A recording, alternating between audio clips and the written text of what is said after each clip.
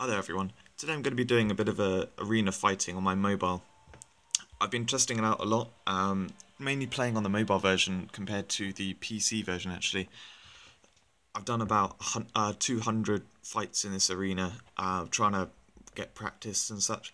I think I actually fight better on my mobile than in the normal game, uh, on, sorry, on, on PC, and that's because um, when you kill an enemy, it will automatically switch target to a nearby one also you have two two thumbs, whereas um, in a mouse you only have one, so you can have one thumb on each side of the screen. This is on a mobile. I'm not sure how easily that would be to do on a tablet, but um, yeah, certainly on a mobile you can do that, and it helps out so much because you can just target all the far away enemies. The auto attack will get rid of the nearby enemies, and then you can uh, yeah just clear out everything super fast. Probably only works if you have high attack speed, but in the arena, almost everyone has high attack speed, so um, it's a good thing to do there.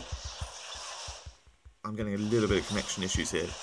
But essentially my technique is to click the faraway enemies and the nearby enemies get killed by um, Flame Armor, Blizzard. I like to use the Blizzard in the rounds with the sacks, um, the sort of pile of bags, um, and then the Frost Drake or Frost Drakes or Fire Drakes, they will take out the, the squirrels, uh, the kind of crit- uh, critters things, um, they'll take those out. They won't attack the sacks, so you want to stack up frost drakes ready for the the critter rounds, and um, your blizzard and flame armor will help with the sacks.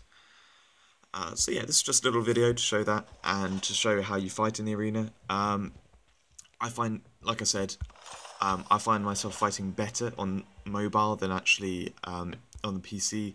I've been accused of hacking a few times. I think because of the attack speed, it just looks a little bit crazy sometimes when you uh, when you'll click a couple of faraway enemies and then you suddenly attack all the enemies nearby you.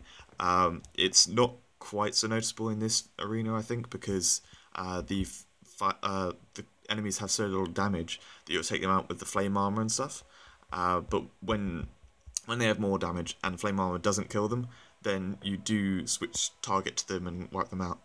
Uh, but anyway, that was that was enough for the video. Um, I'll be doing a tournament showcase very, very soon, um, so that'll be coming out later today, I think. I will see you.